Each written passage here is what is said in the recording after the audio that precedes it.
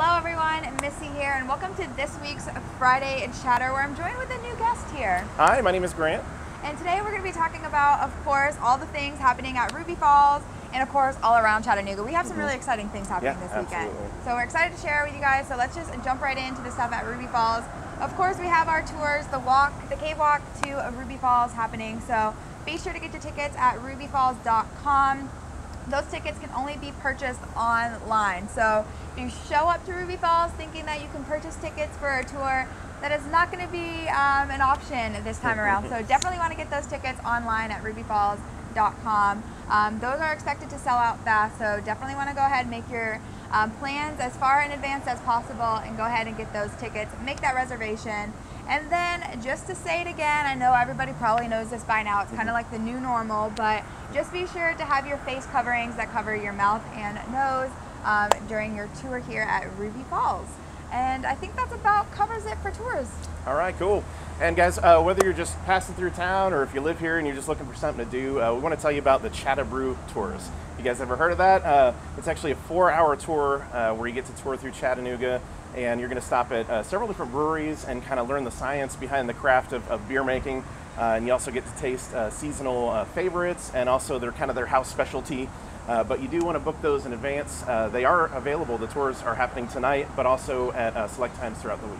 But you want to book those in advance at chattabrew.com. That's correct, right? Yep. Okay. And I'm sure all the information is going to be down in the comments below. Anything Yeah. we talk about today, so even links to get tickets for Ruby Falls are going to be in the comments down below. So very easy to go get some of that. So I know the Chattabrew tour is something I want to do. I haven't done that yet since I've been living here in Chattanooga. That's really good. But if you guys are looking for some family fun, we highly suggest the Wilderness Outdoor Movie Theater, which is really awesome because I feel like outdoor movie theaters are kind of making a comeback with everything going on, which I'm actually kind of loving. I Yeah. think it sounds really fun. So the Wilderness Outdoor Movie Theater is actually in Trenton, Georgia, but it's really cool because it's literally like a 20 minute drive from right here at Ruby Falls. So not you don't have to go far to have some fun. So they're going to be showing movies all weekend long. Um, there's about four different movie options, so definitely family friendly as well. And it's really cool because tickets are just seven dollars. So pile up some friends and family in the car, but you know social distancing of course. Um, but be sure to have your cash because they do not accept cards. So be sure to have that cash. Doors open at 7:30 and the movie start at 8:45. Um, they have a concession stand, which is great because everybody knows movies and snacks go really well together. So definitely want to go check that out. Again, the link for the Wilderness Outdoor Movie Theater is going to be below. Be sure to check it out because that actually sounds like a lot of fun. That sounds like something I probably will do this weekend. So maybe I'll see some of you there. All right, guys. Now for your favorite part of Friday Chatter, at least it's my favorite anyway, is the part where we talk about food.